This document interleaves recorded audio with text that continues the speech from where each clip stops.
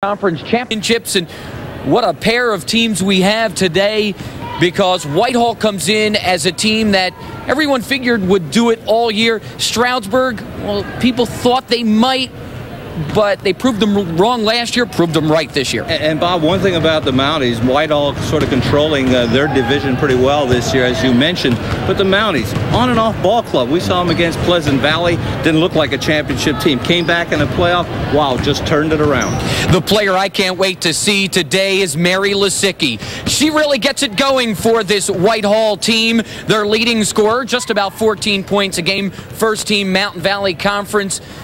Mary can light it up, but she can also get everybody else involved. Yeah, she's the floor leader, Bob. Not only can she score, averaging, like you said, close to 14 points a game, but she's dangerous with the basketball. Why? Such an effective passer. Can distribute the basketball, makes everybody on her club look better. Coach Todd Payton calls Jen Clock his X factor. She had 12 points, 12 rebounds in the first meeting. This is a girl who can do it shooting, scoring, rebounding, and defending. And put an asterisk on rebounding because that's going to be a key for the Zephyrs today and the Mounties. But the girl that may be most effective under the boards for them is an aggressive Jen Clock. She can hit the board strong. She's very effective under there. On the other side, we have two players who are either at or near a thousand points. Cindy Crowell needs just 10 points tonight to gain a thousand. This is a rugged player who can also do it inside and outside. Yeah, she's a, a combination player, plays the perimeter, shoots the ball very well, can hit threes for you,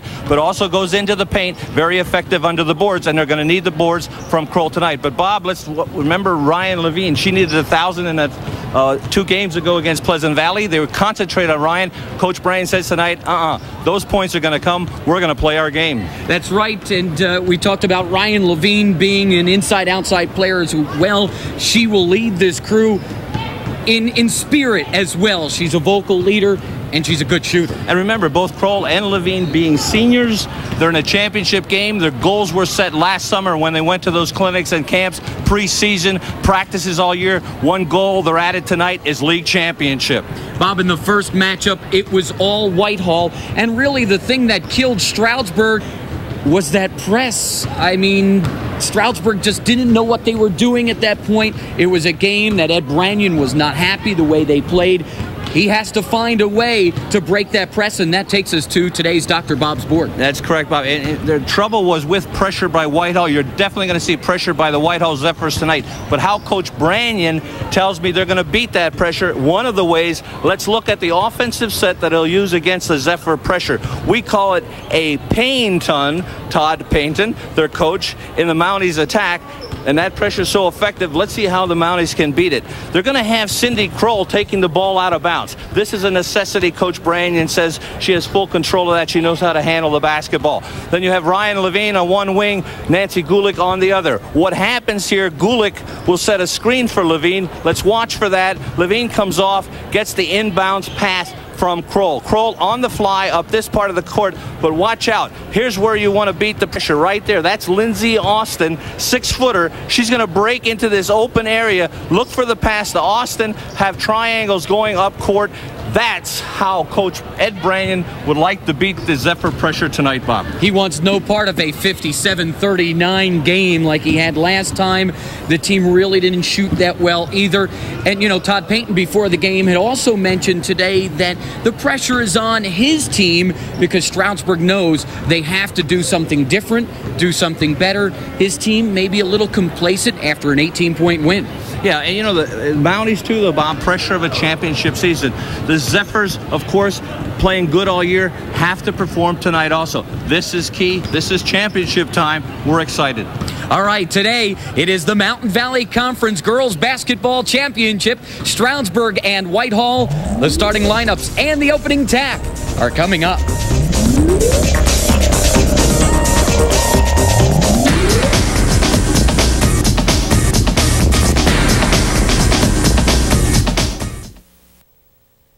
This is the sticker at a typical used car lot. It gives some useful information, but there's one very important thing missing the price. Here at the Scott Lot, you'll always find at least 150 factory certified cars and trucks. Each one includes a rigid inspection and a bumper to bumper warranty. But best of all, the price is always clearly marked. And it's probably the best price you'll find in the Valley. Finally, a car lot made for browsing. Scott Lot on the Lehigh Street Auto Mile. Here at CJ Wagner's, only the finest materials are used to make the Lehigh Valley's most attractive trophies and awards.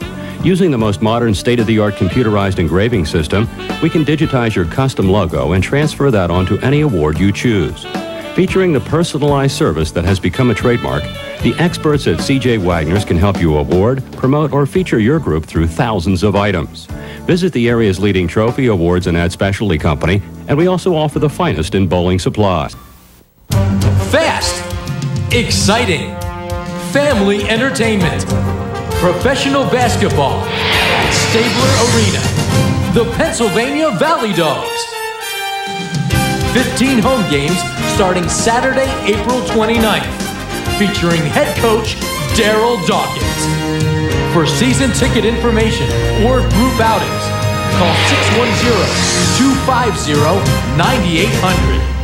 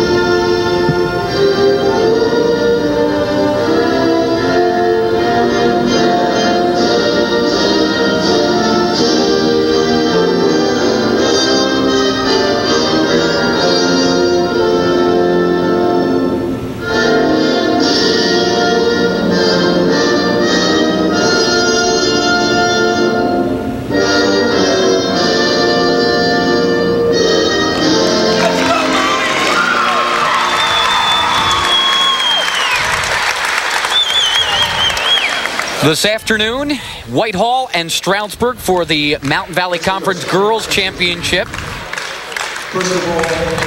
A pair of Whitehall and Stroudsburg teams.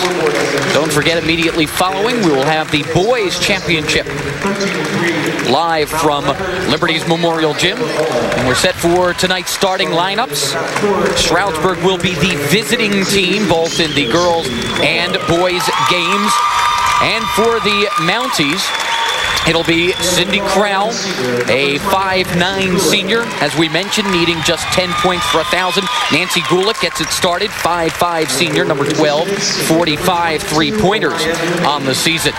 Ryan Levine already has her 1,000. In fact, she has 1,034. She's a 5'8 senior, number 22. Nora Fenner will do a lot of work inside. She's a 5'8 senior wearing number 14.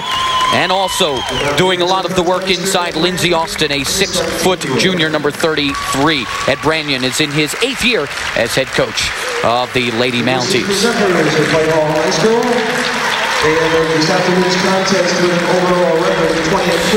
Whitehall will come in 20 and 4, Stroudsburg 20 and 5. And for Whitehall, Jen Wine will start at the point, to 5-7 senior, number 13. Number 23, the girl we've talked about, Mary Lisicky, a 5'8 junior. She'll play a little bit of point most of the two spot. Number 41 is Amy Saganowicz, a 5'8 junior. Number 44, Jen Clock, who will probably defend against Crowell, a 5'10 senior. And Megan Balliot, who will work inside a 5'10 junior, number 51. Todd Payton is the head coach in his first year. Here's your lineups. Gulick, Fenner, Levine, Crowell, and Austin. Wine, Lisicky, Saganowicz, Clock, and Balliot for Whitehall. And Bob, notice the, the size uh, matchups there with both clubs. Good matchup, size-wise. Both clubs very aggressive, defensively very aggressive, offensively. Watch the battle under the boards. As we mentioned, back on February 4th, Whitehall beat Stroudsburg 57 39. It was 39 14 at the half in that one. And Bob, how key is officiating in the big games? When you have two aggressive teams like these two teams are, officiating plays a key part in this major game. But I'm telling you one thing, these officials know this. Watch them, let them play, and rightly they should let them play. They'll be Balliet and Austin jumping center. Stroudsburg in their maroon, Whitehall in gold, and we are underway. Mounties moving right to left. Gulick will set things up for Stroudsburg. A man-to-man defense by the Zephyrs. Austin back rims it, and Jen Clock has her first rebound. 12 and 12 for Clock, Points and rebounds in the first meeting. Here's Wine for three.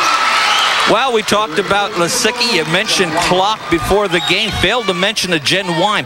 Wine, she's very effective from the perimeter. Scouting report, she hits a good percentage from out there.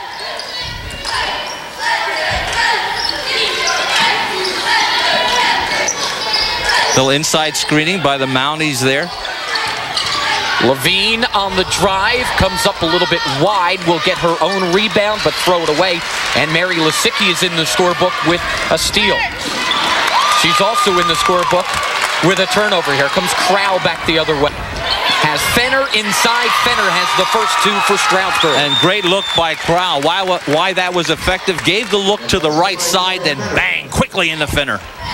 Fenner, sort of an unsung hero for Stroudsburg. Doesn't get a lot of the ink, but does a lot of work defensively. Here's Lisicky from downtown. She averages 14 points a game and has her first three. No real pressure on Lisicky that time. Mountie defense must come out, play, play her tighter.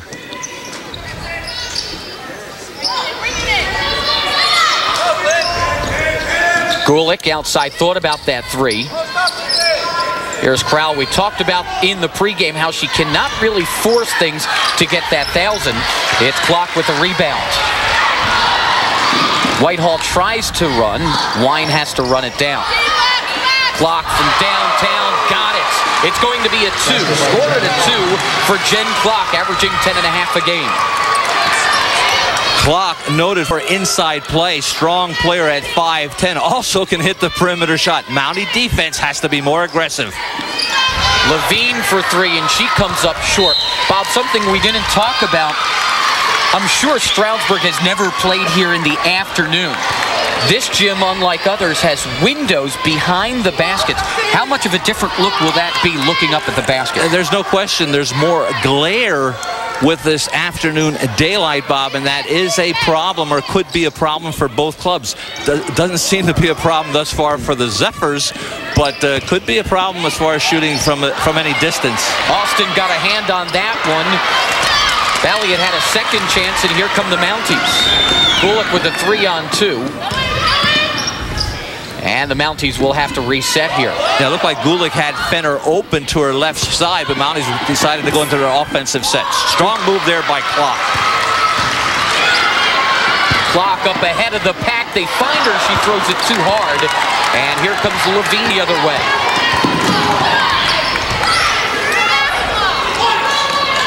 Looked like Gulick wanted to square up for that three.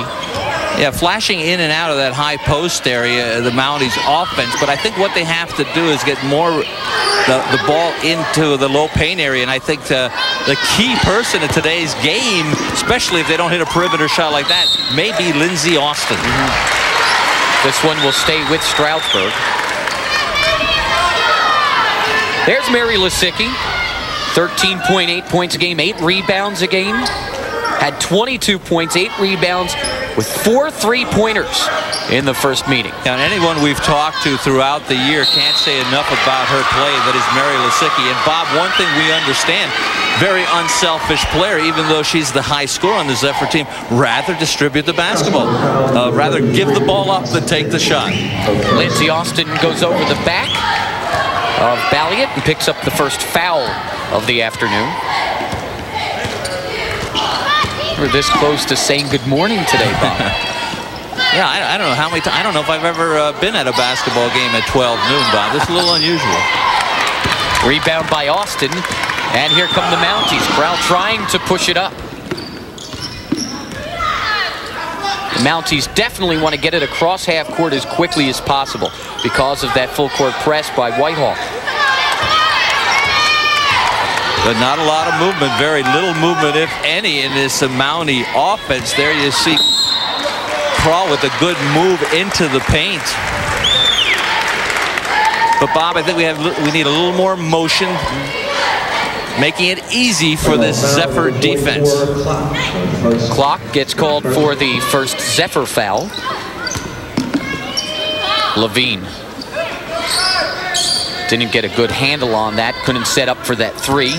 There's Crowell, and she has it tipped by Clock and pulled away by Balliet.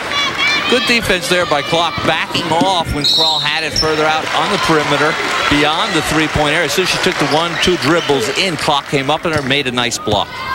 Gulick picks up her first personal, and it will send Clock to the line. There, there you see Clock with a strong move toward the bucket. Looked like uh, Ryan got smacked in the eye there. She seems to be okay right now.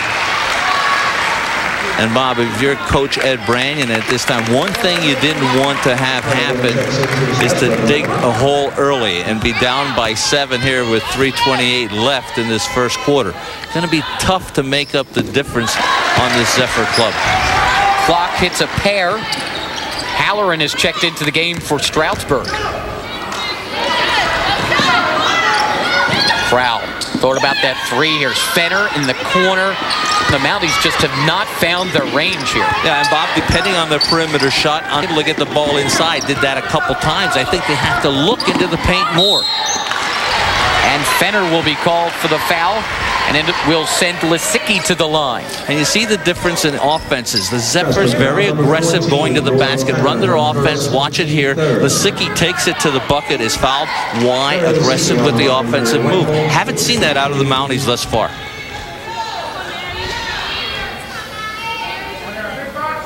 Another Lisicky playing in Europe, I understand. Mm. You know, a lot of people think that Mary could end up being the best of the bunch. Yeah, Division One prospect here as a junior. Has the potential, has the uh, the skills.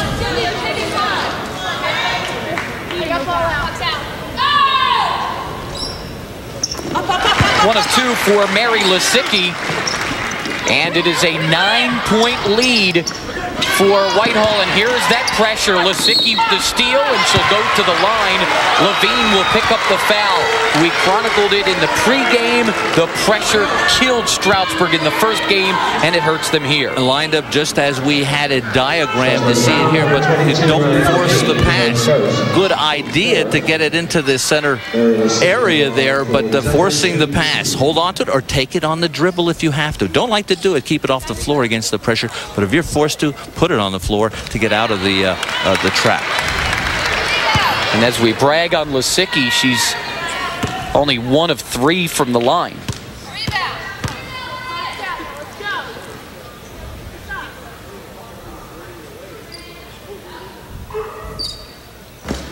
Again, one of two for Lisicky at the line. Five points for Mary, and the lead is 10. And here's another tip away by Lisicky. A good anticipation by Lisicky that time, seeing the ball come into that center area. Let's watch it again. Here's the screen trying to get free. Center area, can't hold on to it. Mounties turn it over again. And clock hits from the baseline. It's six, and Ed Brannion comes leaping off the bench for a timeout. Yeah, and I think uh, Coach Brannion a little disappointed, Bob, because talking to him after their last game and before this game mentioned the pressure of the Zephyrs. This is what hurt them in their first meeting, in their last meeting. He said it will not hurt them this time. We're prepared for it And I'll tell you what, very different when you play in the game itself, and particularly a championship game. Yeah. And the thing Whitehall has done has been to shoot well. And I don't want to harp on the point too much, but you know the brightness in here and the bright windows behind the basket could have an effect. Of course, both teams have to play with it. Sometimes some adjust better than others. They try and drop it inside for Haller, and it goes off her leg. And the Zephyrs with a chance to increase this 11-0 run. Yeah, I don't see a lot of movement offensively again by the Mounties. Uh, you're playing into the hands of this man-to-man -man defense. I have to set up more screens, be more effective that way, look to the paint, perimeter, kick it out, but we need a lot more motion offensively. Lisicky from just inside the line. It's Levine on the rebound, and here comes Gulick to the front court. Gulick pulls up, misses the jumper, and it's one and done here for Stroudsburg. And that's exactly another thing. The perimeter shooting. No one's under the boards. All gold shirts under there have great position on that man-to-man -man defense. Good block-out position. So the Zephyrs have been controlling their defensive board. Lisicky wow. for three. Wow. Her second three-pointer. And the lead is 15. You know, you, you, you just feel that she could be more than a 14-point scorer. What a technique from downtown. Katie Meltzer in the game for Stroudsburg, and she has it tipped and stolen, or at least nearly stolen by Hartman. Osha Eisenberg, 21, a 5'8 junior, checks into the Mountie lineup. And Bob, too, the nice thing about a, a player like uh, Mary Lisicky, people recognize what a fine player she is for her skill, not only her offensive ability. If she looked to the bucket and took, let's say, uh, uh probably could take twice as many shots as she has this year, We'll watch the drive here by Levine to the bucket to pick up the foul. That was a good aggressive move. Need to see more of that from the Mounties. But what I was going to say, she's so effective with passing, distributing the basketball, her skills off the dribble. Everybody recognizes this girl's just a fine player. That is Mary Lisicky. There's another fine player, though, we're looking at there. That's Ryan Levine, 1,000-point score for the Mounties. And a three-point play for Ryan. This team shoots very well from the free throw line. Ryan at 81%. And that cuts the lead to 12. This one knocked away by Levine and taken by Eisenberg. Fenner for Crowell in the corner. She'll launch the three and hit.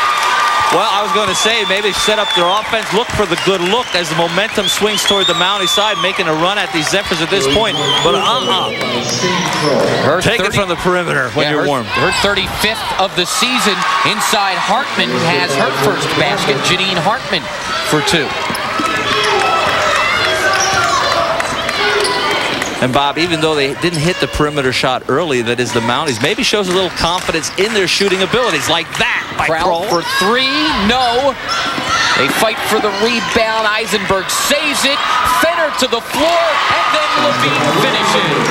And talking about the importance of their offensive board, that is the Mounties getting killed early by the Zephyrs under that board, but shows the hustle that time. Fenner with a good job. Lisicky drops it for Balliot. And a 20-second timeout for Todd Payton. A good call by Coach Paint and the run by the uh, Mounties coming back at his Zephyrs want to get them under control because this is a club. I said it's hard when you dig a hole against a Zephyr club like this, but if they get warm for the perimeter, things can happen. Look at that look from Jen Klock. We talked about what Klock can do shooting the ball and rebounding the ball. About passing the ball? And Stroudsburg with some hustle in theirs. Nora Fenner, we talked about a moment ago, Bob, the unsung hero right. going to the floor to keep it alive. And, you know, Bob, we always talk about in the big game, there's always that other name. You know, you mentioned the names all through the high scores, guy, uh, players that do the job for you, but there's always that other name. Fenner could be one of those. A bit of a wet spot on the floor right now. They're always looking for someone in the big game to step up. I know you, know your your key players are going to do it, those that you relied on all year, but you're looking for that other one.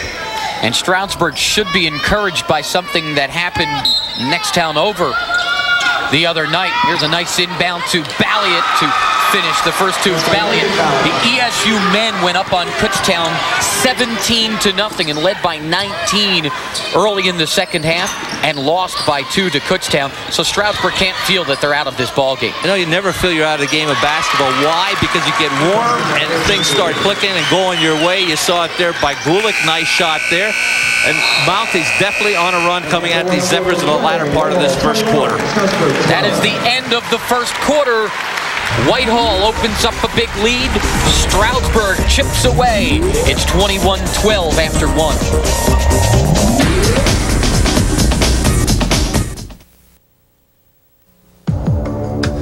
Are you an athlete if you only play for bragging rights? What if you inherit your uniform? Are you an athlete if your toughest competition is yourself? What if your role model doesn't even play a sport? Or if you don't play sports at all anymore? Are you an athlete? Always. Rebel Athletic, durable clothing made for the long run. Available at Bethlehem Sporting Goods.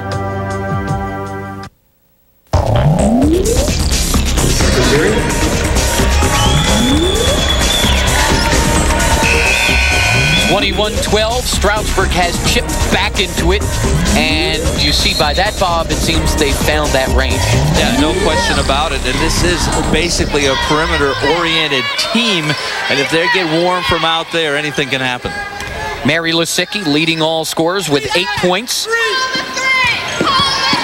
Clock has it swatted out of bounds by Austin. And, and see what offense will do for defense. Sometimes you talk about defense creating offense when they get warm offensively, builds up momentum, emotions evolve, and it helps defensively. You saw it there.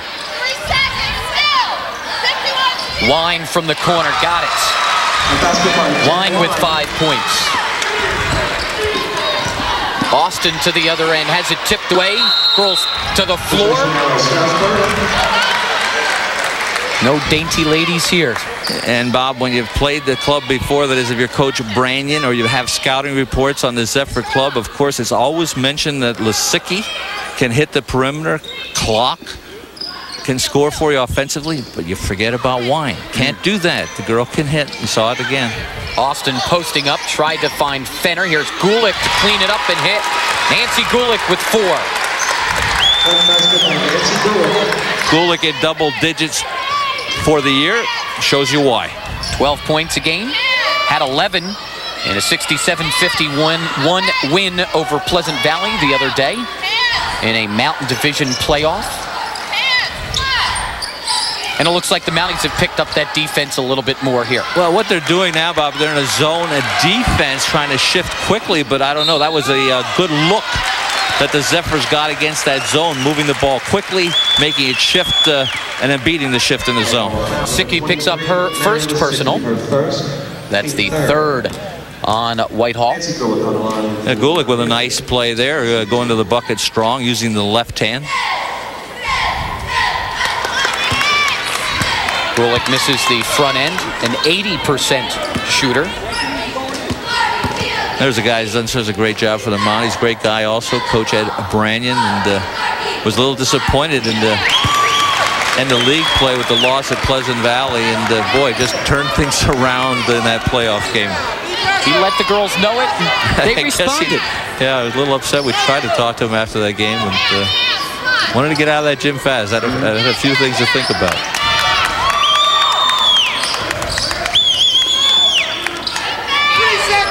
Wine looking for a seam here. Drops it in Balliet. Hartman. Down to the floor they go again, and the alternate possession will stay with Whitehall. Yeah, what the, what that zone has done is taken the uh, Zephyrs out of their aggressive offensive play, uh, kind of remaining static offensively, moving the ball rather than bodies there. This one goes off of Wine, picked up by Gulick. Some of the Whitehall fans thought there should have been a foul. Stroudsburg looking to make it six, maybe five with a three here. Levine goes baseline, double covered. Fenner is fouled from behind by Clock. That'll be the second on Jen. Yeah, what the Mount is doing now, double low post with Austin on one side of the low uh, paint and uh, Fenner on the opposite. What made that play, however, was a great baseline drive by Levine. When she felt the double team, Fenner steps back and Levine finds Fenner. That's just good ball movement and uh, movement without the basketball by the Mounties. Much more effective offensively now. There hits the first. How about this free throw style, Bob? Steps back about two, three feet. Not one that uh, my old friend, the master of the shots, uh, Hank Slider, used to teach. I don't think he would be quite uh, acceptable when he, or he wouldn't accept that type of uh, technique. But if it works, you do it. There's a six-point lead and a 9-4 Stroudsburg run.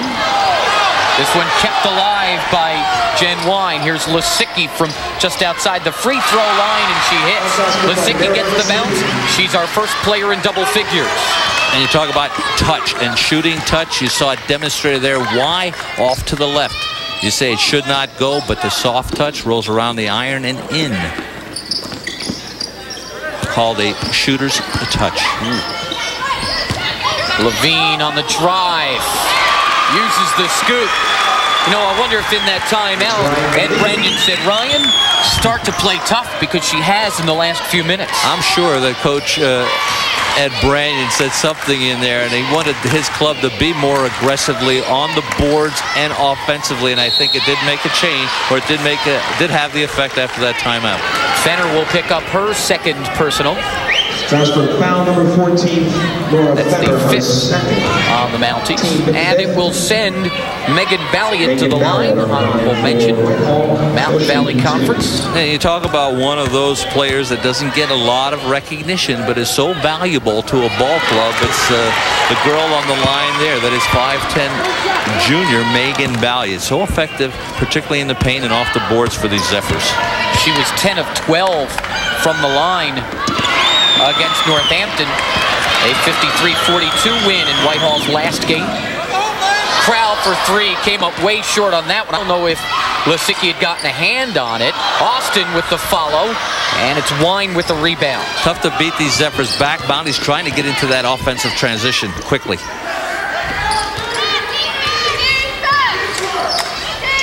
Lisicky travels. Fenner violation.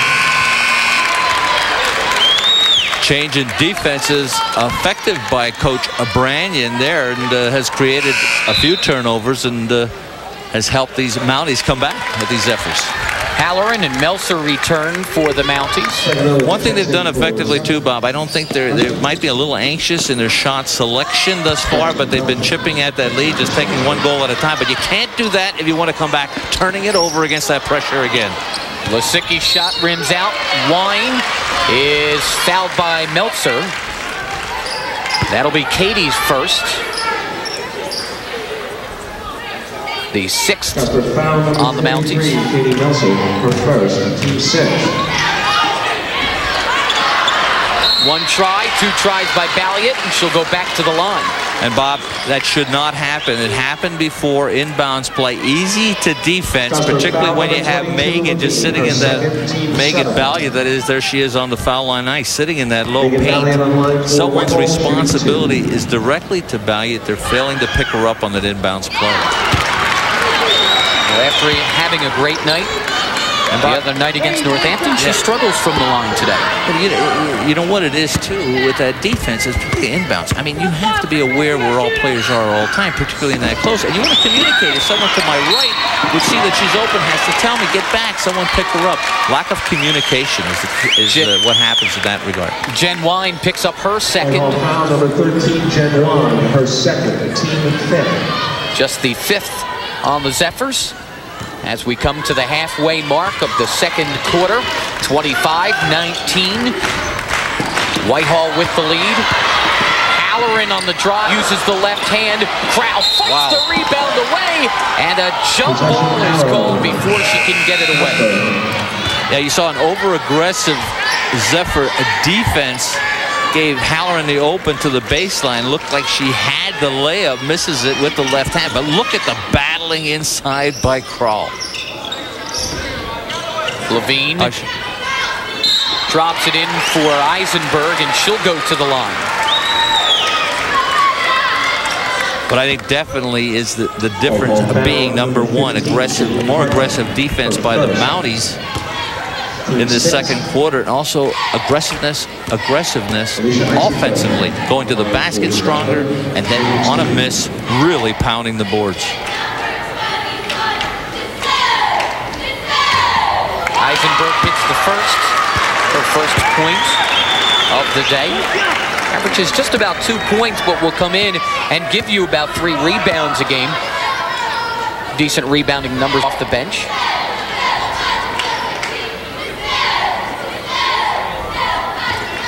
One of two, and Levine tough in there for the rebound, and she'll go to the line. Wow, you wonder, you don't have position inside on the missed foul. That is, the gold shirts have that position. Levine in that second spot, but what gets you the basketball? A long bound, that's one thing, but aggressiveness. Levine wanted the basketball more.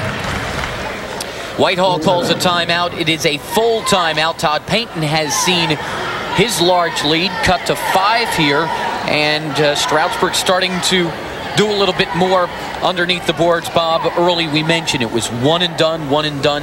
Now they seem to be hitting the offensive boards. Yeah, and, and also defensively, Bob. I think the change in defense by Coach Ed Brannion kind of took uh, took them out of their normal offense or the offense that they were so successful with earlier. But look at that strong drive there by uh, Levine. Why is she a thousand point scorer? That's one of the reasons. This kid is so tough in there with the basketball, and you saw her rebound so well earlier. Just a very strong player. Well, you can split this into you know, two parts. You have a 19-8 Whitehall lead, and then you have a Stroudsburg 12-6 run. The big, the, the key too, though, Bob, is taking care of the basketball. What hurt them earlier was that pressured defense by the Zephyrs, creating a lot of turnovers on the Mounties' part, and they kind of had it under control there in the second quarter. Levine at the line. Has the first one roll off. Well, I, I, might have seen her close her eyes. I don't know if you noticed that. I don't know if that's a prayer, a prayer or a part of her technique. But let's look at it again. Ryan, a little unusual with technique from the foul line. As his eyelids seem to shut right before she shoots. There it goes. How about that? Concentration. Comes up short on the second. That's a little different route. Visualizing. That's it. Mally's tried to jump out to the trap. Yeah, see how uh, static that the offense is now by the Zephyrs, trying to beat it with ball movement, long skip, bounce pass there, almost picked up. Wine drops it inside, and Balliet will go back to the line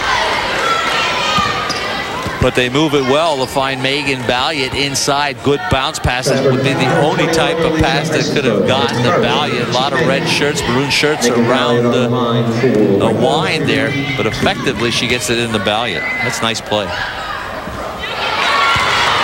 Balliet continues to struggle from the line. Yeah, what you want to do against that zone, the Zephyrs find seams is winded there, and then the zone tends to converge to stop basketball. Three maroon shirts conversion or that time. Someone has to be open.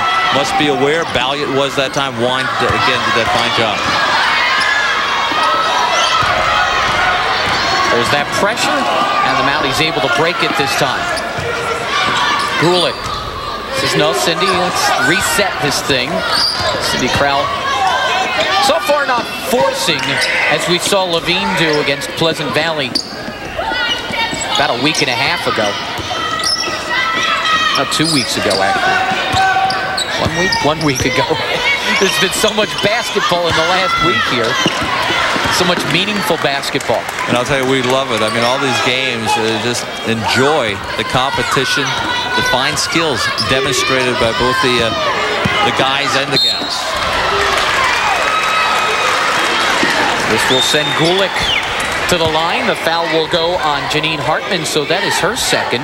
A little uh, different offensive uh, setup by the Mounties this time down the court and a uh, little more motion with high-low situations as far as post situation is concerned in that offensive set. Freed this girl from the perimeter. That is Gulick saw the opening, went strong to the bucket. Gulick has a bit of a strange free throw shot but uh, it is effective at 80%. Yeah, you don't argue with success. Of course, you don't like to teach certain techniques, but uh, if they fall like they do there for Gulick, why argue? Why change? It is a four-point game. Hudak, Melissa Hudak for three. Well, they can all hit it from the outside. This time it's Hudak. The zone falls back on the big people, particularly Balliet. I think they want to protect that paint with Balliet back there, but Hudak hits it. That'll bring the zone out. Crowell will go to the line. But notice how much more aggressive the Mounties are. This time it's Crowell. Look at that quick first step and the penetration. Didn't see that early in the game offensively by the Mounties. Bob, seemed like they were content to sit at the perimeter, even against that man-to-man -man early, and depend on that outside shot. Just wasn't going. Changed the offensive set that is Coach Brain, I think uh, with a few words said, hey, you got to go to the basket, have the outside take it, but if it's open in there, you've got to push it to the iron. A pair for Cindy Crowell. She is an 87% shooter. And, that, and, that's what that type of offense will do also. You know, you, you, get maybe a better look in closer, but you pick up a lot of fouls on the opposition by being more aggressive. Back to a five-point game. Fenner, boy, I thought she had tipped it off of Wine, but Fenner gets a hand in there to knock it out of bounds.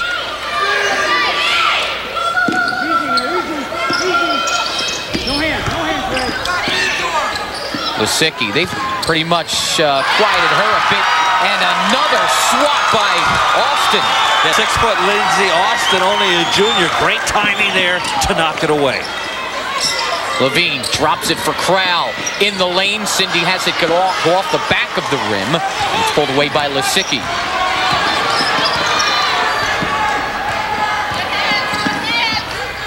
Mary will hit the baseline and head back out. Wine in the lane, lost the handle, was able to get it to Lisicky for three. It comes off the side of the rim. Right there is Balliet for the follow. Good position by Megan Balliet to put it back up and in. Position is blocking out. Balliet did it well that time. You work on that fundamentally throughout the year, preseason, summer, what have you. It pays off. Crowell off the screen, gets the bounce.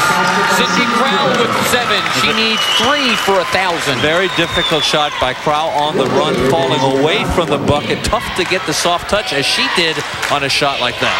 Back to a five-point game, and it looks as though Whitehall will take the last shot here.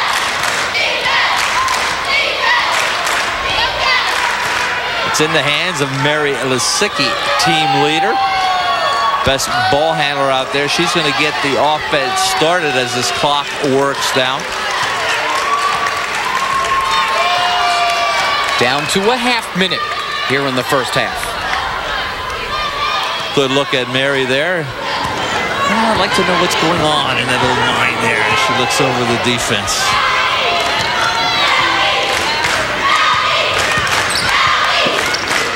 Wine. Hudak, the clutch shooter of this team, comes up short. Fenner bounces it on the baseline, so Whitehall will have 7.7 seconds to take another shot. Yeah, uh, Mounties might have had a chance. Shot taken a little early has left a lot of time left on the clock, but Zephyrs get it back. Balliet, Lisicky, Hudak for three. Comes up short again.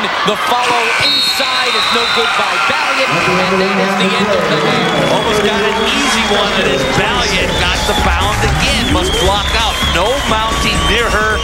Should be uh, body contact at all time, particularly on Megan Balliet. Well, the Zephyrs have to be happy with the lead. The Mounties have to be happy to have battled back into this one.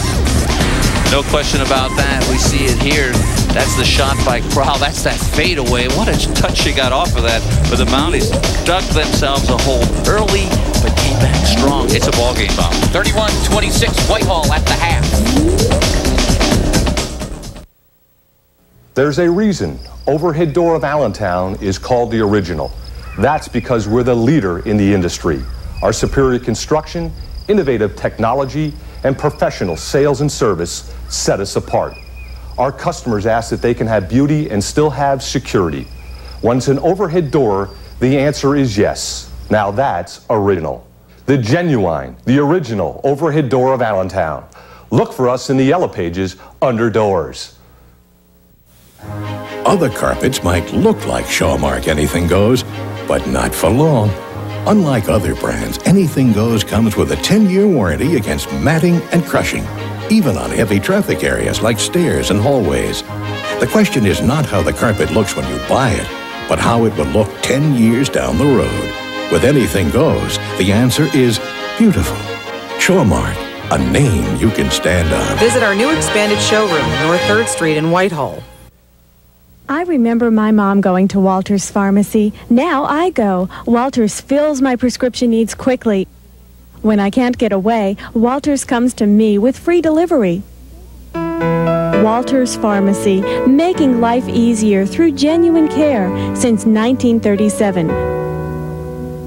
Walter's Pharmacy, 401 North 17th Street in the Allentown Medical Center.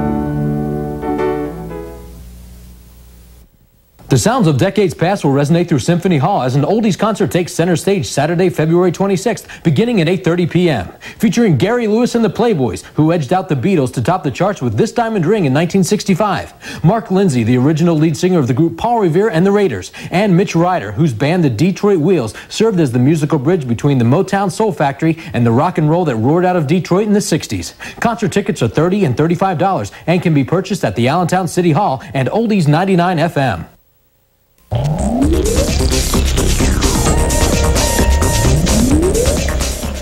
Welcome back to Liberty's Memorial Gym along with Bob Milkby. I'm Bob Capasso. Glad to have you along on both Blue Ridge and Service Electric live today for the Mountain Valley Championships. Right now, Whitehall with the lead at the half. Bob, a tale of really two parts of that half. The big Whitehall run to start this game and Stroudsburg battling back, using some defense and finally finding their range. Yeah, and I think early, of course, the pressure. We talked about that in pregame. Pressure hurt the Mounties. Found the secret to combating that defense, lessened their turnovers in the second quarter, made a difference. And aggressiveness. You know, these Mounties are a strange ball club, Bob. You know, they come into this season, play great at times, and then go flat suddenly. And I think Coach Branyan saw it coming in that first quarter. Called that timeout, and it made a difference. That flat club was one he didn't want to see. He saw his club as that second quarter went on. And you can just tell what he said in that timeout, too, because as soon as they came out of that timeout, you saw Ryan Levine go strong to the basket, something she likes to do, and maybe something she wasn't doing in the early part of the half. Yeah, they, they weren't effective from the perimeter. They looked for the perimeter shot. They are good perimeter shooters, but it wasn't going for them. They weren't going to the basket at all. And this is one other thing I think that Coach Ed Branyan said to him in that timeout. Hey, doesn't go from the perimeter. You have it. Take your look. If it falls, fine. If it doesn't, we've got to make uh, get some action started. Look inside. You don't have it there. Hey, take it on the dribble, and that's what they were doing in that second quarter. About Mary Lisicky? She has impressed me. Oh, no question about it. And and what's impressive about her, Bob, is what we were told before the game. That is, she'll look for a shot. She's a very effective shooter, has a nice touch out there, but she likes to distribute the basketball. She keeps this offense going. She'll take her shot if she has it, but she's so effective with the pass couple of uh, notes that uh, Bob Matson has given us, our stat man tonight. The rebounds go to Whitehall 13 to 9, but another number he gave us very interesting. The turnovers also go to Whitehall. Stroudsburg has uh, turned the ball over uh, uh, about five times, Whitehall 10. And that seems to have been what uh, got them back in the game. And their turnovers, Bob, are different because the turnovers early were uh, against the Mounties. Why? Because of pressure defense. They combated that in the second quarter. But the turnovers for Whitehall, different story. It's in the offensive set, on the offensive end. The uh, defense, the half-court defense of the Mounties has created a lot of the Whitehall turnovers, and that makes the difference. So they're playing much more effectively defensively in that second quarter also. And there was a change there. They're man-to-man to start. Went into that zone much more effective. You diagrammed it in the pregame, too, about how to break that press. Uh, there have been some times that Stroudsburg has done it well, sometimes that they have not. Yeah, and you can't force the pass against the pressure. I think they knew what they wanted to do. We said look for the middleman. We showed that in the in the pregame a diagramming of it, how to beat the pressure, but you can't push it and you can't force it. And what they were doing is trying to run the play. You know, you become automatic, you become program. Uh-uh. Game of basketball must improvise at times. Kind of get off the, what you were taught to do, and that'll break it. And when they look for that, then you go back to the routine. So a big smile on Ed Brannion's face at the end of that half. Obviously, because of the specific play at the end of the half to uh, stop Whitehall from getting a last shot. But he's got to be happy his team is in this after being down 17 to 2. Well, Ed, Ed Brannion, no question about it. Very happy with the second quarter, but what club is going to come out for him in that third? And I think that's what he's concerned with. 31 26 to half. Whitehall leads. We'll be back with more in a moment.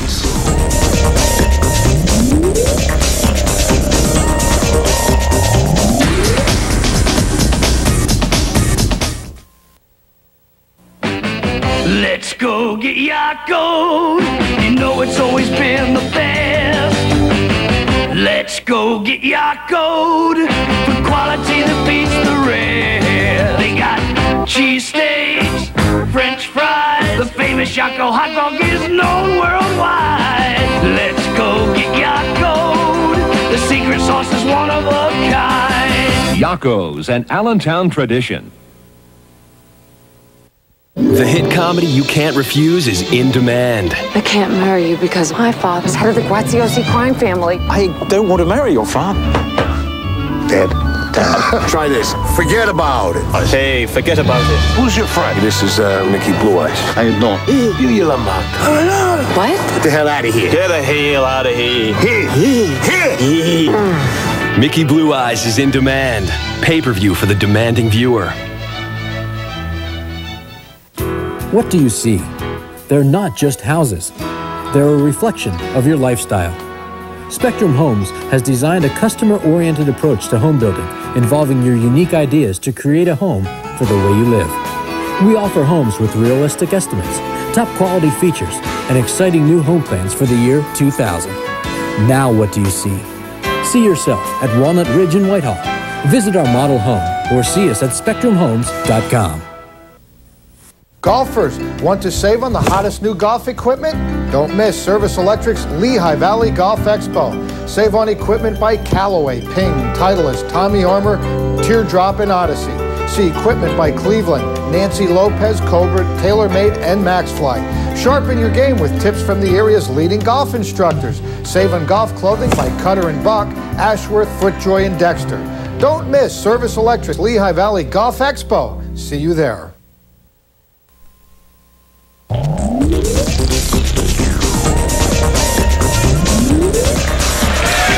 31 26. Whitehall with the lead. We've seen some good play by these two people, Wine and Lisicky. Yeah, and Bob, that was early in the game. They were so effective on the perimeter. Change of defensive by the Mounties. You see it there again. Great perimeter shooting by the Zephyrs. Took them out to that big first quarter lead. Look at Lisicky there. What a great touch by that all-conference uh, player, Mary Lisicky. But the Mounties came back strong in that second quarter. There you see one of the reasons why that's Cindy Crowell going after her 1,000 points. But notice the penetration did not have that early in the game when they dug that uh, uh, big hole that is the Mounties, and they're going to the basket strong and great defensive play there. Yeah, Austin has three blocks on the afternoon. And, and is, Whitehall leads it by five at the half. And Bob, this is what I was going to allude to too. You know, Austin may not give you a lot of points in there, but it's so effective defensively. Six footer. Uh, does her job in the paint uh, on the defensive end. First half numbers see Mary Lisicky leading all scorers with 10 points. And on the other side, some balanced scoring, seven apiece for Gulick, Levine, and Crowell. And this is how it's been basically through the year that it's those three players for the Mounties doing the bulk of the offensive work. I mean, I think the, the Mounties, the, the Mounties uh, uh, average about 54 points a game. These girls, three girls, give you about uh, 40 of those 54. Both teams shooting well from the field. Stroudsburg showing why they're such a good free throw shooting team. That's actually a little bit below their average. Whitehall opens with the basketball. Clock will step right up and put up the three. And off the rebound, we have a foul quickly on the Zephyrs. It will go against Hudak, so that is her second. It'll be Clock, Hudak, Lisicky, Wine, and Balliet in there for Whitehall. For Stroudsburg, It'll be Kraut, Gulick, Levine, Austin, and Fenner, their starting five.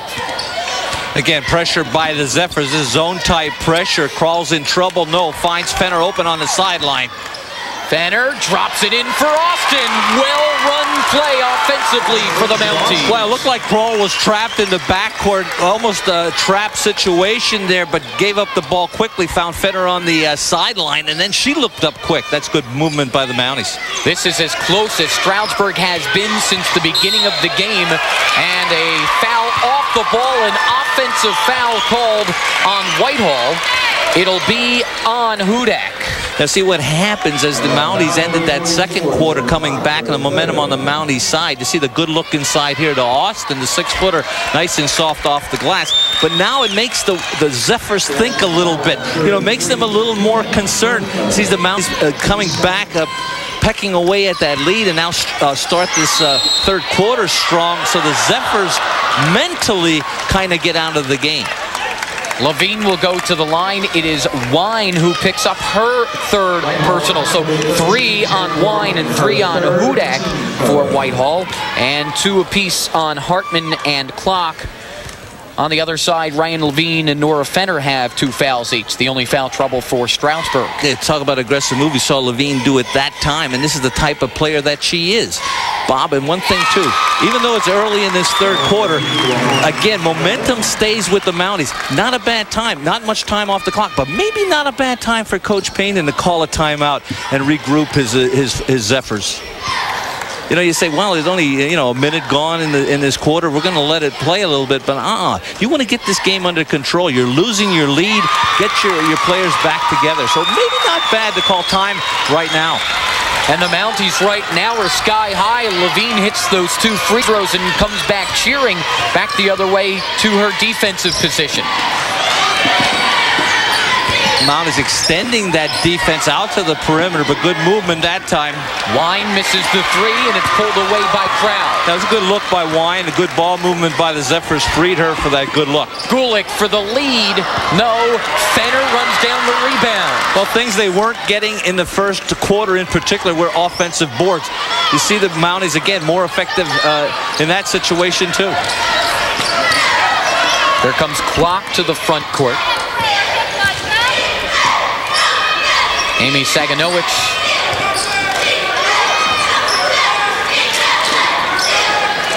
Balliet keeping the... That one goes up and over the back. I was about to wonder aloud where Lisicky was, and here she is. They're going to take some of the shooting edge again off the Zephyrs. That is a momentum and the Mounties coming back at him and uh, not as confident taking that perimeter shot. Crowell able to bring it back down. Here's Levine. Gulick for three. Fenner with another rebound. And the Mounties reset. Again, a chance to go ahead here.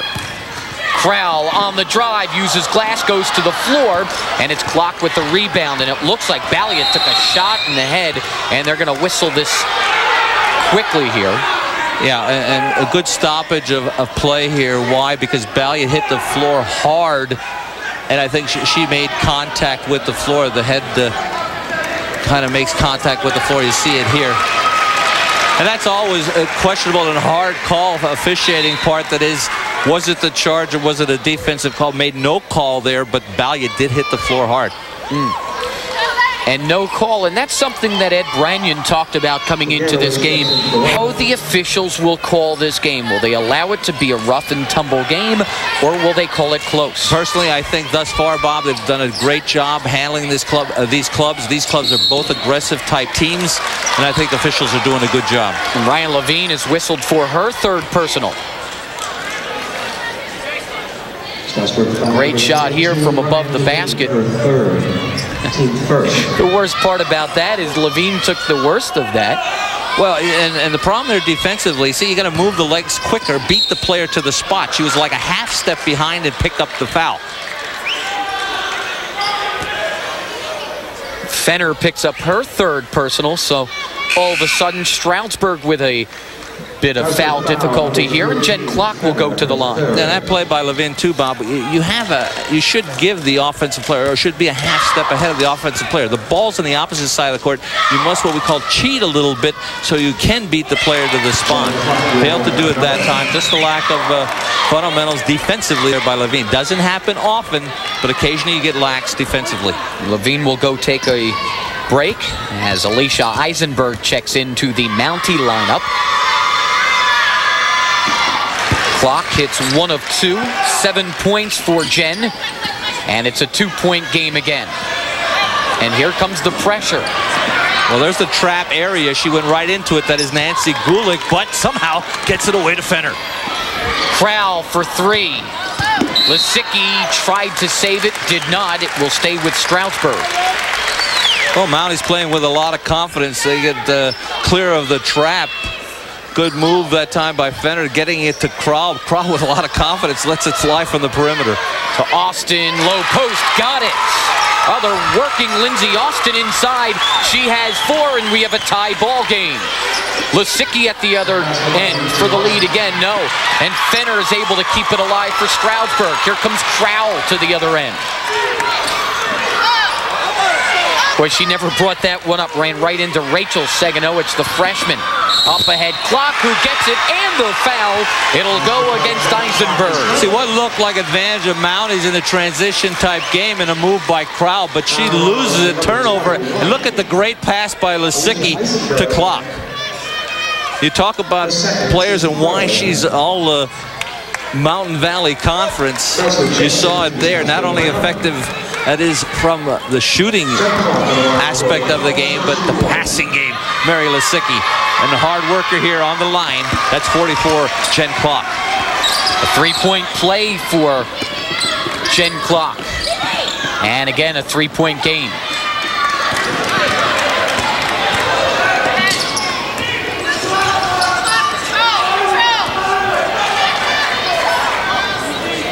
Eisenberg for Austin. Eisenberg at the low post having trouble finding the handle and she'll be tied up by Amy Saganowicz. A good help defense by the Zephyrs. Eisenberg gets it in low. A lot of gold shirts are surround her in that low. Crowell for three, a thousand and the tie. She can't get it. This one goes off of Wine and it will be Stroudsburg ball again.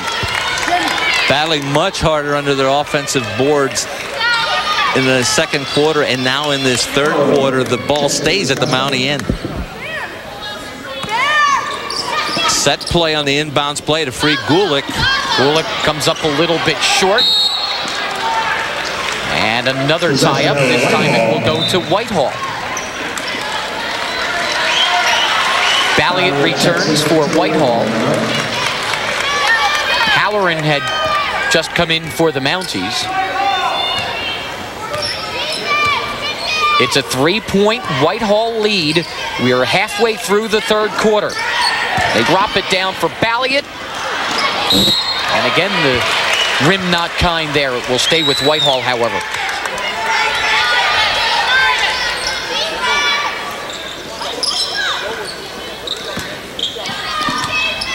Clock on the wing, drops it for Lisicky in the corner. That one comes out, and it's pulled away by Halloran, and Halloran will be fouled. It is Balliet who picks up her second personal. And already the fourth team foul on Whitehall. Okay, let's watch the pressure by the Zephyrs again, see how the Mounties handle it. Off the inbound, a good play by Clock to get a hand on it, and then Crowell is called for coming over the top to get it back. That's the first on Cindy. Very difficult pass to make over the top of Jen Clock as she's uh, kind of leaping up and down and uh, blocking your vision there. Crowell tried to get it over the top and then picks up the foul.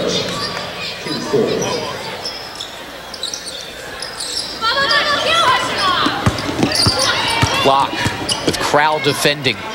Here's Lisicky, the pull-up, hits it. What a, what a nice stroke by Mary Lisicky, her first basket of the second half. Talk about technique, Bob. That's one thing. But coolness under fire. This girl doesn't even realize, I think she's playing in a championship game, and the game is this close. She's so cool out there. The pressure again hurting the Mounties.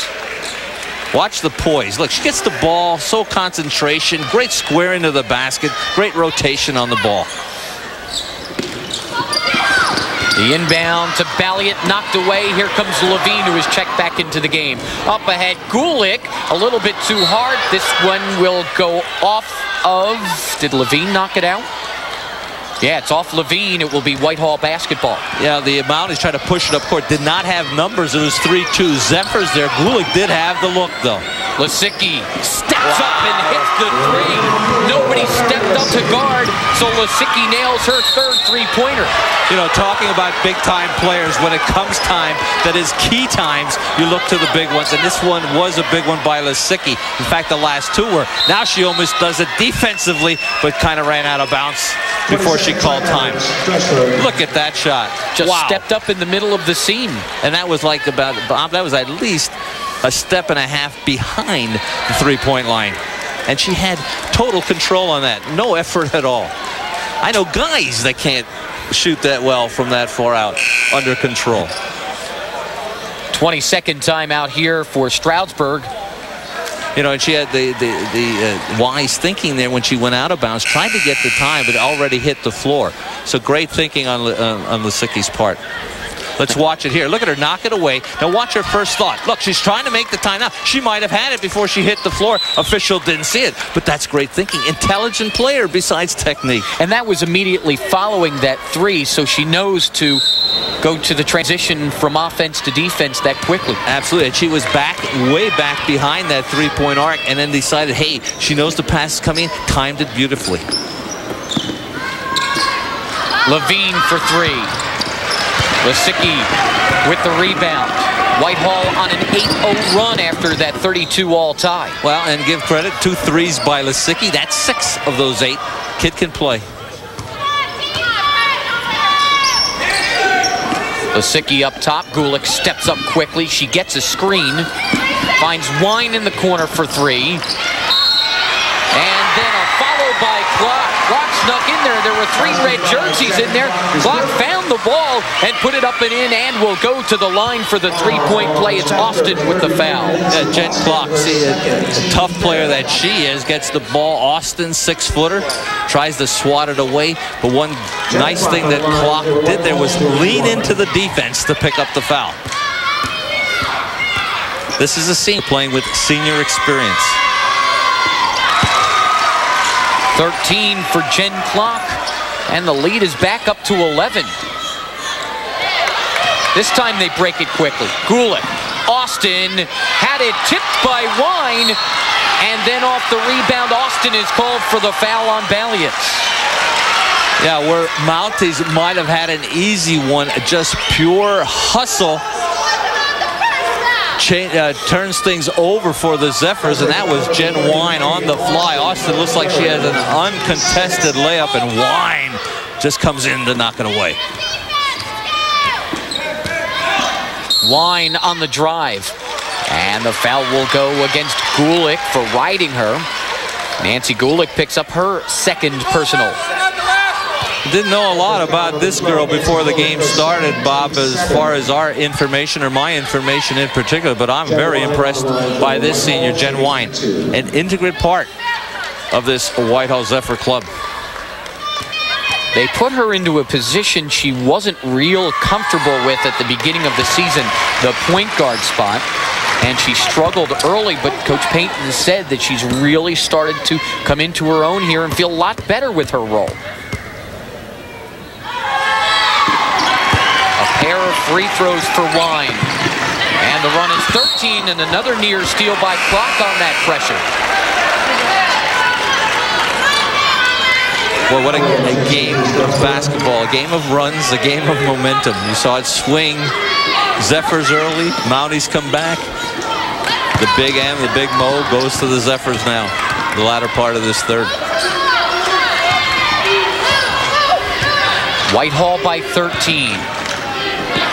Levine thought about the three. Tries to drop it inside to Halloran. It's taken away by Clock. Well, active hands defensively by the Zephyrs. Well, there's that X factor, Jen Clock. Lisicky steps up for another three. Clock hustles for the rebound. Loose ball will go to Stroudsburg.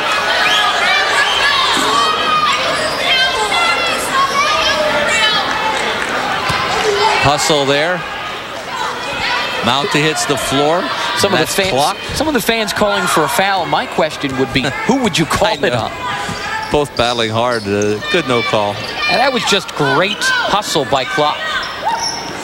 Halloran with the hook. Lisicky with the rebound. Up ahead, Clock in the lane and a foul called on Crowell. That clock looks and finds and sees uh, Wine open underneath. Just couldn't quite find the handle on the basketball to get it to Jen Wine, uh, but picks up the foul. That is the second on Cindy and the eighth on the Mounties. So clock will shoot one and one. Well, you have nice balance on this Zephyr club, but this girl here does such a great job both on the perimeter and her hustle inside. Aggressiveness off the boards, that's Jen Clock. And then you have Megan Balliet. She can hit the boards bomb. This is a, a well-balanced uh, Zephyr club. Clock six of seven from the line. There I go bragging on her again. You've done that so many times. I have to stop that. Please let the girls alone. Halloran high post. And Clock gets her hand on another. Yeah, just cutting the passing lane uh, on that uh, side pass there by Crawl. Good job there by Clock. Coming down toward the one-minute mark of the third quarter. It's a 14-point lead for Whitehall. It was tied moments ago. And a 14-point run broken by Nora Fenner. Well, I don't think you're going to see any quit in this Mountie club, that's for sure. The Zephyrs throwing a zone defense at the Mounties now, but the good baseline move freed Fenner. And again, Whitehall will play for the last shot here. They got two chances at it at the end of the half and we're not able to convert. Mom, she's so cool out there. There's Mary Lisicky. I think she's going to fall asleep. She has the basketball out there. I mean, she's just, look at a poisonous girl. She just stands there, and uh, does she know she's really in a championship game? Wine. And you know what she does? You know what, what a good player does and what she does too? She lulls you to sleep. You know, right when you think she's relaxing, you saw a sudden move there, she frees herself suddenly. This is a great player. Amy Saganowicz for Jen Clock. It's a little bit too high for Jen. Yeah, if you're working the clock down for the last shot, your coach uh, Payton, uh-uh, that's a no-no. You don't want to see that happen. Turn it over and get the uh, let the opposition have their opportunity. But sometimes that happens. You know, you start too soon. There are like 45 to 50 seconds left on that clock, and uh, just a little early to start that slowdown. Levine goes to the floor hard at the end of the third. That's it for three quarters of action. Whitehall has jumped out to a 46-34 lead.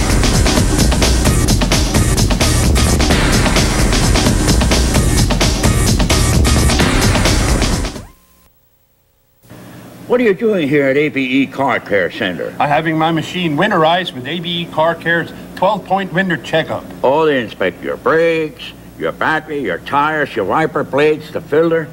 Everything. Yep, they get it ready for all that ice, snow, and cold weather that's coming. Well, you made a good decision to get it checked out before the bad weather gets here. You know me, save money in the long run. What do you do with all your money? I'm saving for my pot of gold. Go for the gold. You already got the pot. Nice.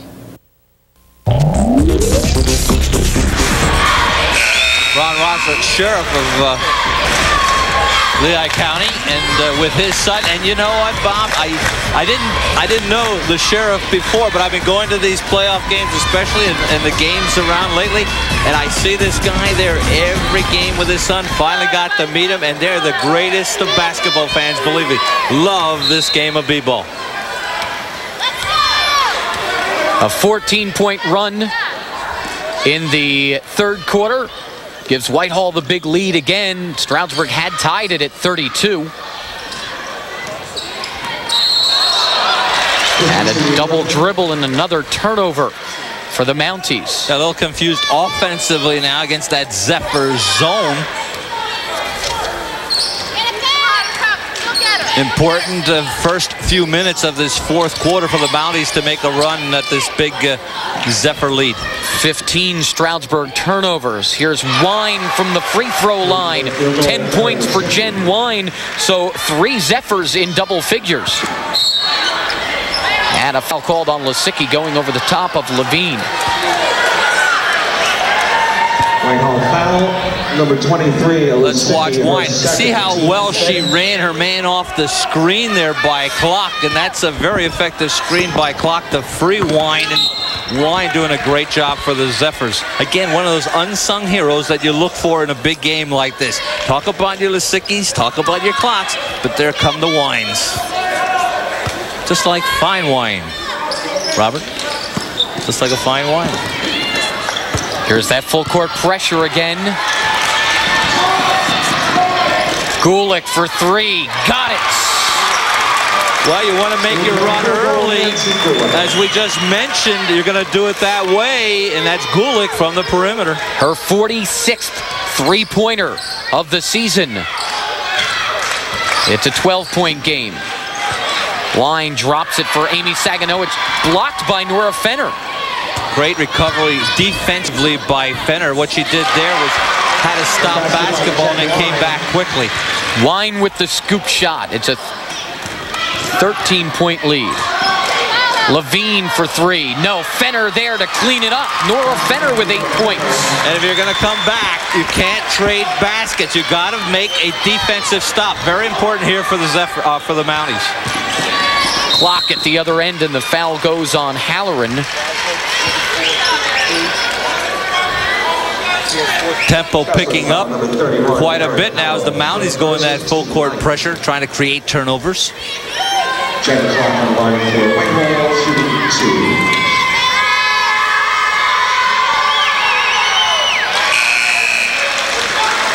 Clock with 15. Hudak returns for Whitehall. And Austin comes back in for the Mounties.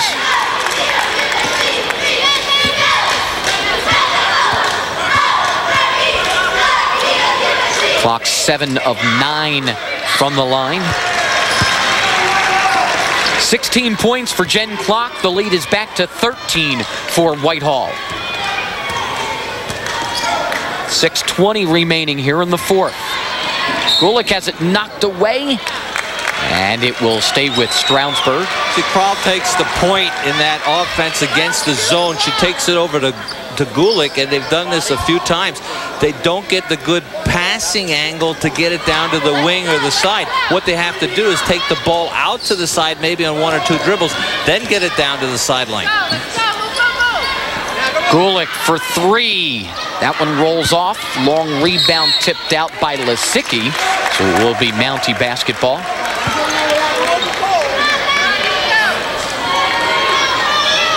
What they have to look for also, Bob, and against that uh, defense, which they aren't, they're working the perimeter again, but work it inside like that to maybe a Lindsey Austin. Good turnaround move.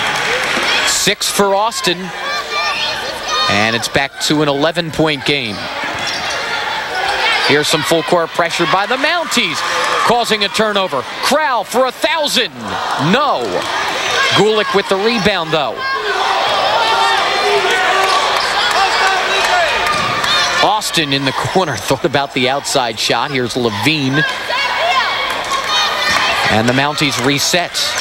Okay, change of defense by the Zephyrs. Now go back to man. Again for a thousand. Kral doesn't get it. I wonder if she's pressing a little bit, Bob. Yeah, and looking at the perimeter, maybe once too often. Again, where's that aggressive offense to go to the iron? Clock on the drive. No, the second one blocked by Fenner. Kral up ahead. Gulick trying to lead her, and Gulick has to run it down. Good defensive transition by Lisicky and uh, Hudak to get back and stop the break uh, by the Mounties. Levine. And a blocking foul called on Lisicky. So Mary has picked up her third personal. I think really, Bob, what the Mounties got away from was this type of movement by Levine. You saw that aggressive move to the iron to pick up the foul. They're relying on that perimeter shot for most of that the third quarter and early in this fourth. Fenner. Levine tried to get that quick out of bounds play. Here's Fenner at the low post. Not bad movement there. In and out type movement. Kick it back out. You don't have it inside. And Fenner can't hold on. It will go back to Whitehall. And defense by the Zephyrs to double up Fenner inside and create the turnover.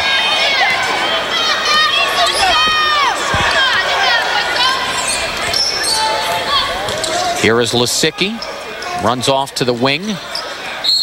Inside for Balliet, and she'll go to the line. Austin picks up the foul, and that will be her fourth. Well, you know, most of the time, great basketball players never run in straight lines. What we mean by that, of course, if it's wide open, you go for it. But what Lisicky does so well, you saw the screen. She took her man down about one step to the left, then comes off the screen. This freezer. Then when the double comes up or the switch occurs, what she does so well, sees the open person, makes a great bounce pass.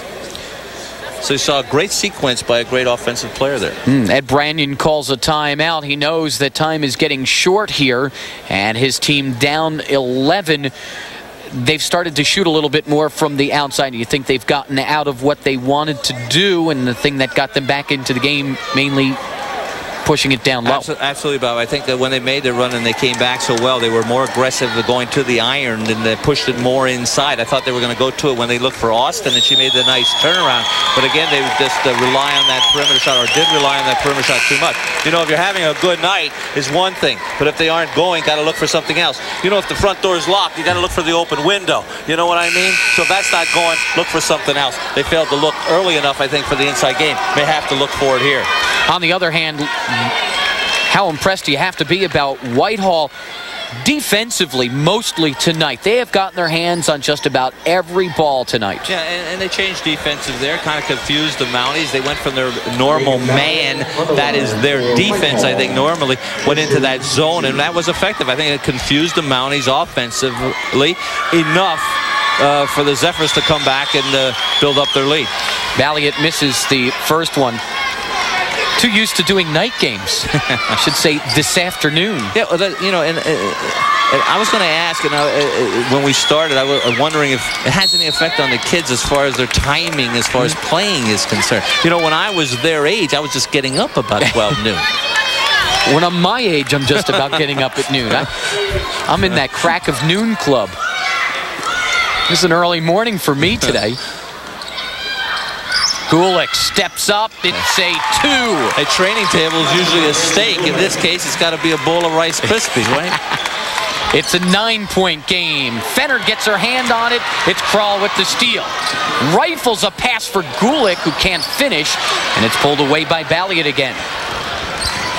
Your attention, please, will the members of the Mountain Valley Conference boys and girls. Great matchup there. That's Kral and Lisicky. At the west end of the gymnasium.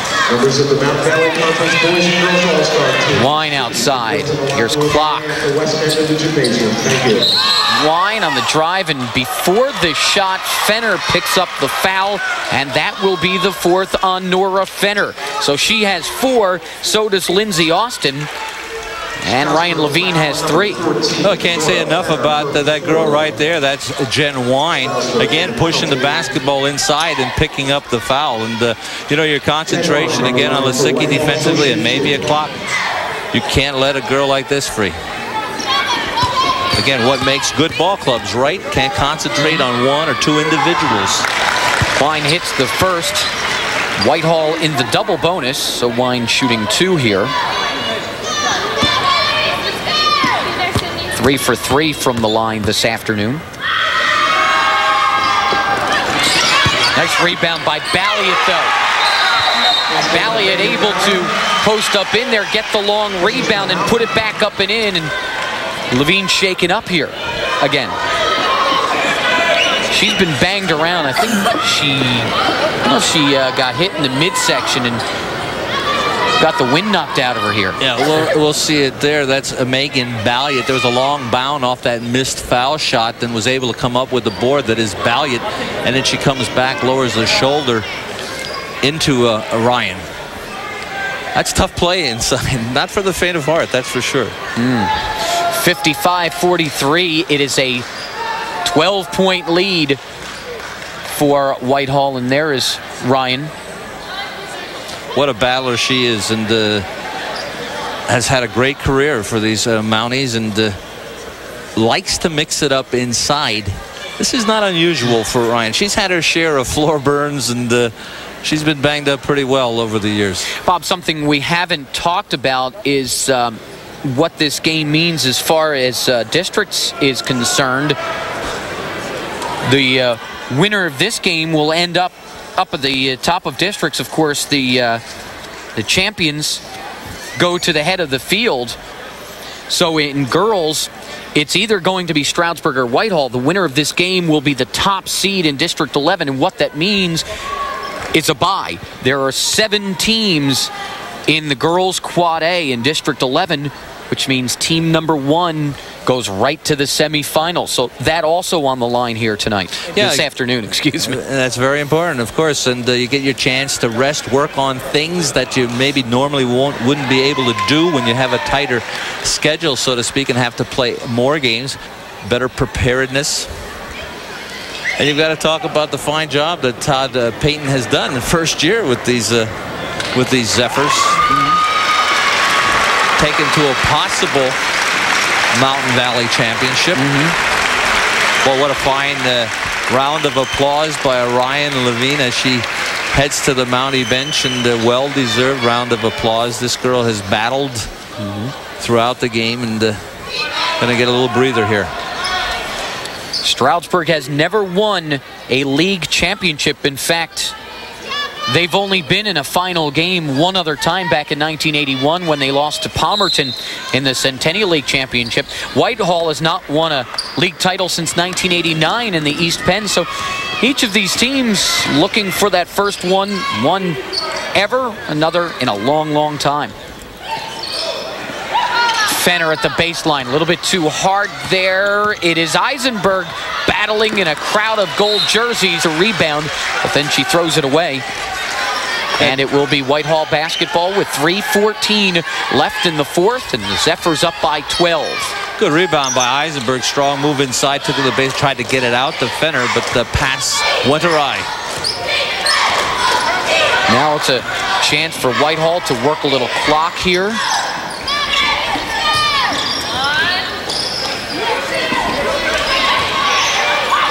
The one up on the wall, I mean, not the one on the floor. And here is Jen Clock. Lisicky outside and thinks, okay, let's keep the clock running here.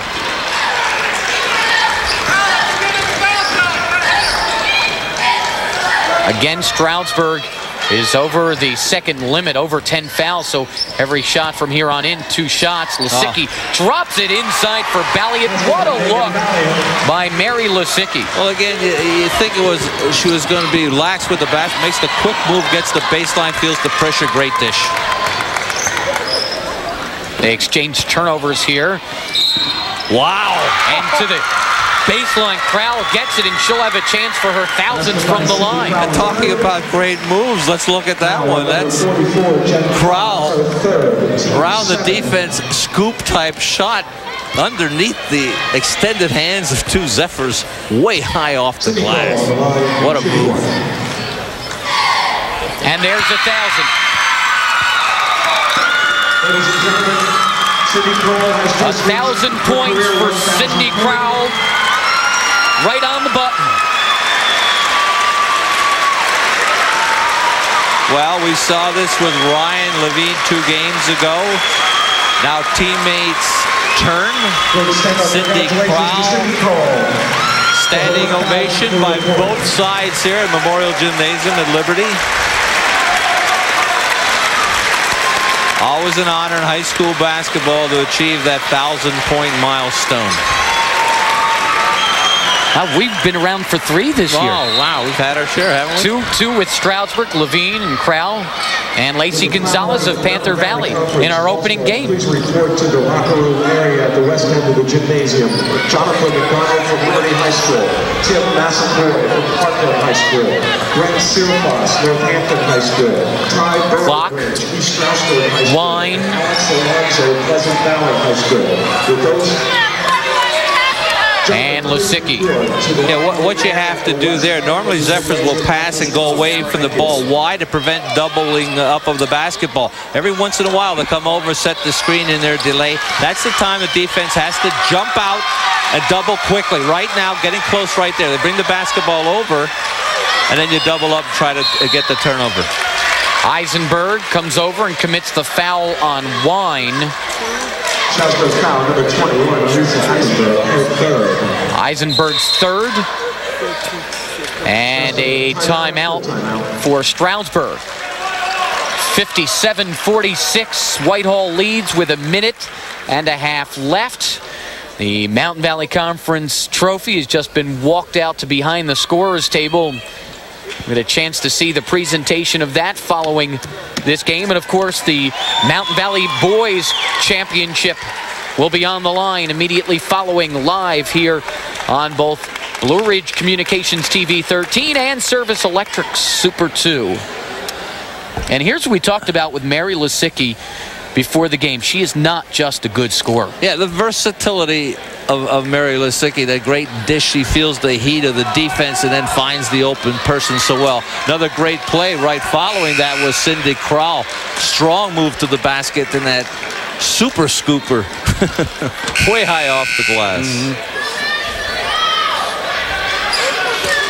It will be Wine at the line.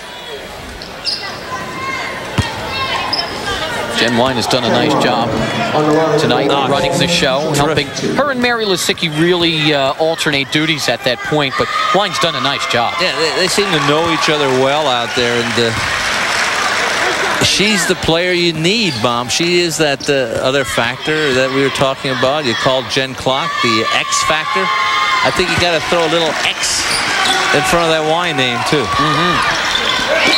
And another great defensive play by Clock and Wine and the entire Whitehall team, and that's been the story this afternoon, is that full court pressure defense and even the, the uh, front court defense. Here's a foul on Fenner, hacking Clock.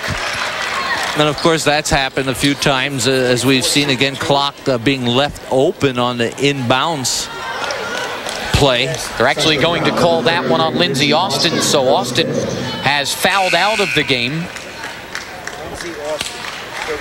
18 turnovers in the game committed by Stroudsburg, and something Ed Branyon did not want to see. Something specific he did not want to see coming into the game. You know, Bob, he talked about three important factors keeping Mary's, Mary Lisicky in check, not turning the ball over and handling that pressure, and also the rebounding. Yeah, and he, he knew the Zephyr Club pretty well because uh, all three factors came into play tonight. Lisicky did a great job. Also, and again, did I say this afternoon? Let's get that uh, straight. This afternoon, that is. So hard to remember that. But anyway, uh, the, and the pressure defense hurt them early. Game of runs now has hurt them late. And rebounding. And the Zephyrs strong here at the end under the boards. Uh, Mounties mounted their attack in the middle periods and were much stronger under the boards and uh, kind of failed to do that end of it here in the fourth. Here's that full court pressure. Levine is able to break it and come across. Gulick for three.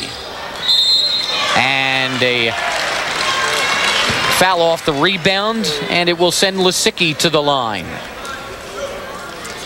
What you have to like about the Zephyr Club, one of the many things that you have to like about the Zephyr Club, are their calmness or coolness under pressure because Mounties came at them a couple times, made their runs, looked like they were going to overcome that lead by the Zephyrs, and uh, calmly and coolly they hung in there, particularly the girl you see at the foul line now. She does such a great job with the basketball under pressure. Misses the first.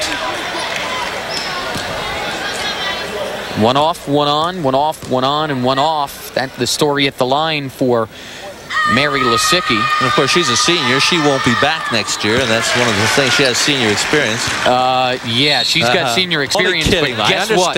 I understand. Everybody, everybody just cringed when they double checked and said, "Wait a second, Yeah, she's, a, junior. I know. Yes, she is. How about that? Only a junior. Block picks up her fourth. See lots of Mary Lisicky. And we'll see lots of this Playoffs team, coming I think. up in the next year for sure. And I think we'll see lots of this team next year. Balliet, just a junior. Flock will leave, but they have a freshman in Rachel Saganowicz who sees plenty of time. Amy Saganowicz is a junior. 11 points for Cindy. They're going to have a, a, a good nucleus, great nucleus coming back. There's no question about it uh, next year. But Bob, we're talking about next year. These Zephyrs are going to do some damage as they go into the playoffs. As far as I'm concerned, my opinion. And they'll chase, and I don't know if they're going to foul here. With under a minute left, so it looks like Whitehall will get its first championship since 1989 when it was back in the East Penn. Stroudsburg, I think, just does not want to give up a basket here. But they figure this one is in the books. So Whitehall will keep it going. They open two and three. Mary Lisicky hurt her finger, something they thought was a multiple fracture. It turned out to be just a dislocation. In fact, an aggravation of a previous injury. She comes back, surprising many people, has a huge season. Whitehall goes on an 18 and 1 run, 18 wins in 19 games, and Jen Wine finishes it off with an exclamation point, a three-pointer, and Whitehall wins the Mountain Valley Championship 65 to 47 over Stroudsburg. Now, Stroudsburg makes several runs at the Zephyrs, but cool, calm, and collected. They they just hung in there, did workman-like work, and particularly with Mary Lisicky at the helm at that point situation, just uh, held back the charging Mounties. So Whitehall wins it 65 to 47. Whitehall, the 1999-2000 Mountain Valley Conference Girls Basketball Champions. And a great uh, game that it was. And we talk about basketball as a game of momentum, a game of runs. You saw it here this afternoon. And the Mounties did a good job at coming at, at these Zephyrs. We see the difference, the uh, nine-point lead in that first quarter and the run that the Mounties had in that second quarter, outscoring the Zephyrs. And then again, failing to do the job in the third quarter and just hang in there in the fourth. And of course, big win by these Whitehall Zephyrs. Ladies and gentlemen, that center, Kuro. Jen Clock and Jen Wine lead all scorers with 18. And Mary Lisicky, another big afternoon, 15 points, three three-pointers. I'm impressed with Jen Clock, though. She was one who battled for rebounds, battled for baskets, and battled defensively. Well, yeah, you have to be impressed by several Zephyrs, Bob, but she is the uh, a workhorse, a blue-collar type player uh, for the Zephyrs. You know, it, Mary Lisicky, if you can compare them both, she's more of the executive type. You know, she handles the ball, she looks the scene over, she makes the decisions out there. but it, when it comes to going after the basketball, doing it aggressively, then you look for the one that carries the the lunch pail that uh-huh. is, and that's a Jen Klock. But hey, talk a little bit about Jen Wine doing her thing too, doing her share of uh, scoring and hustling inside uh, for the Zephyrs. The runner-up trophy to Stroudsburg, and now the Mountain Valley Championship Trophy. Whitehall High School, their principal, Mr. Jim Davis, and the Whitehall Zephyrs Girls Mountain Valley Championship. And the Whitehall Zephyrs out to receive their Mountain Valley Championship trophy. And a very, very happy Zephyr group and a happy coach, Ted uh, Todd Paintone.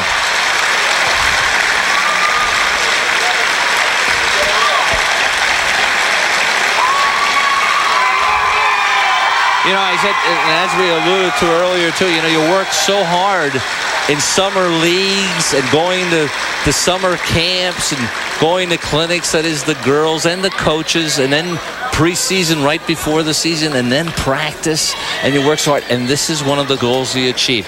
Next is districts, of course, but the league championship. So Whitehall wins it 65 to 47 over Stroudsburg to win the Mountain Valley Championship. We'll talk to the victors in a moment.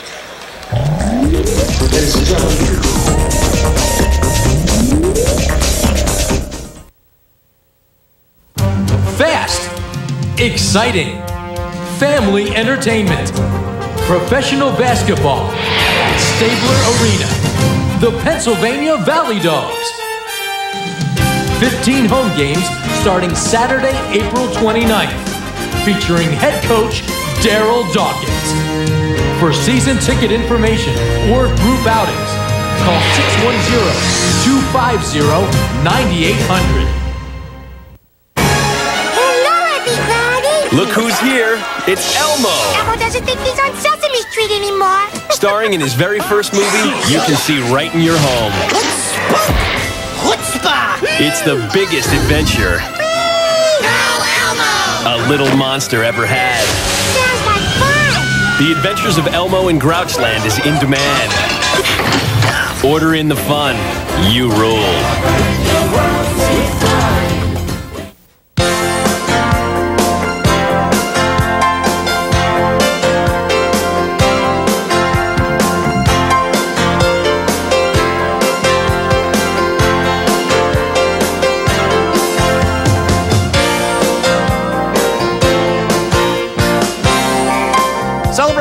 Of a new millennium. Celebrate 2000 brought to you by the corporate partnership of Service Electric, Brown Daub Auto Dealerships, Easton Hospital, and the Express Times.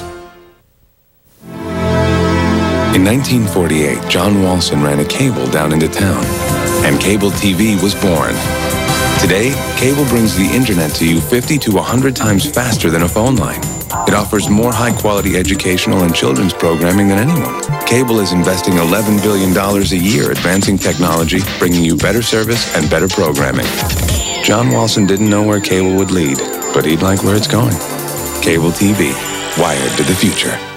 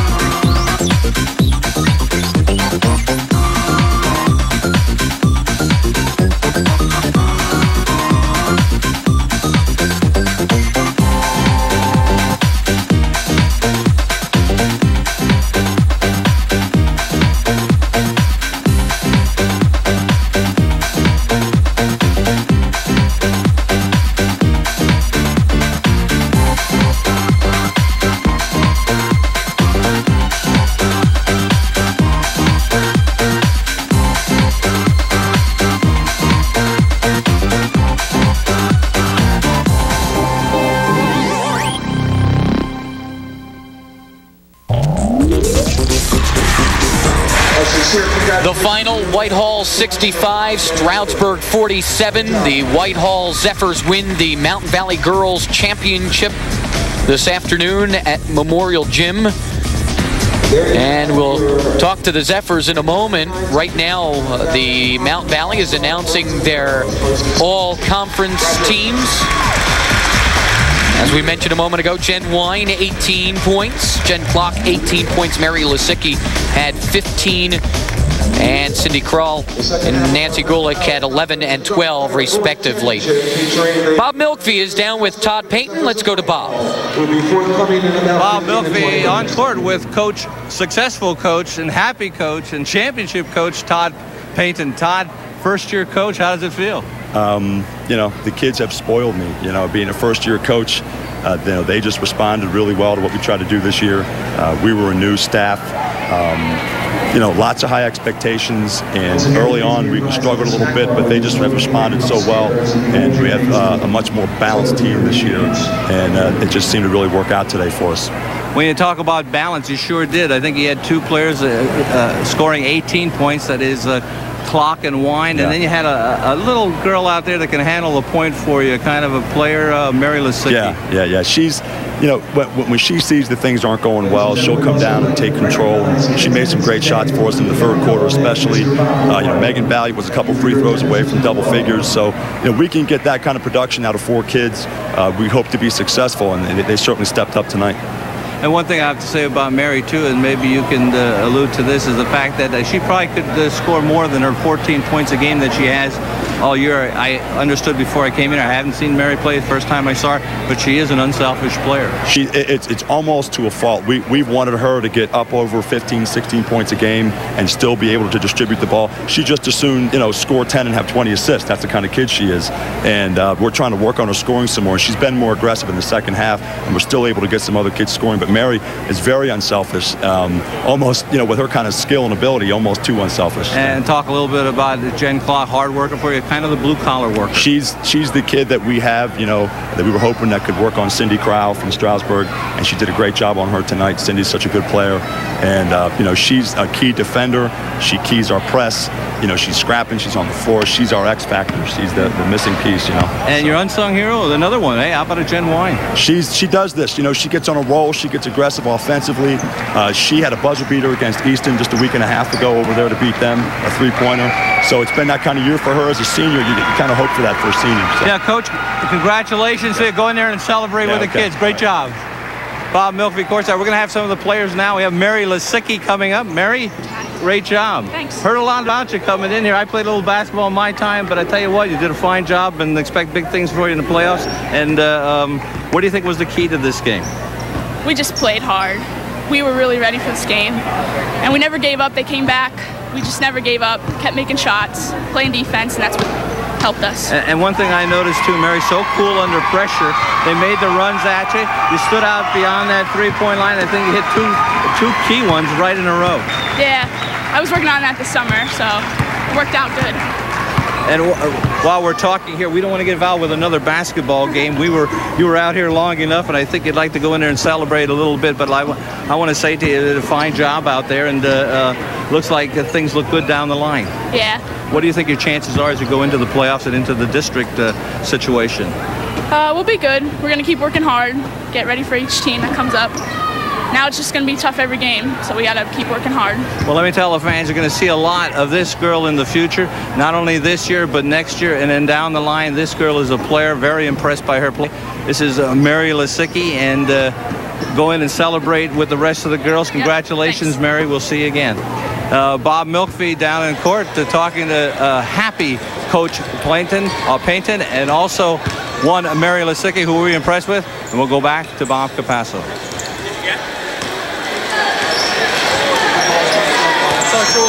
So uh, Whitehall wins the MVC championship. The Zephyrs will be the top seed in District 11 4A.